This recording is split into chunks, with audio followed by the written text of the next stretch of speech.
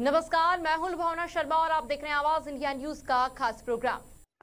भारत की बेटियों ने लॉन बॉक्स में पहली बार जीत कर रचा इतिहास।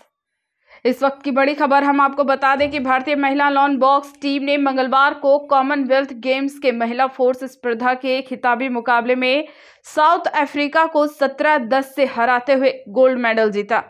यह इस इवेंट में भारत का पहला गोल्ड है और भारतीय महिलाओं ने इस अनजान खेल में परचम लहराते हुए भारत को चौथा गोल्ड दिलाया। वहीं आपको बता दें कि सेमीफाइनल में न्यूजीलैंड को 16-13 से हराया था। भारतीय टीम पहली बार राष्ट्रमंडल खेलों में महिला फोर्स प्रारूप के फाइनल में पहुँची थी। Lovely Chaubey lead Pinky second Nayanmoni, Saikia third और रूपा रानी तिर्की स्कीप की भारतीय महिला फोर्स टीम ने ऐतिहासिक प्रदर्शन किया है।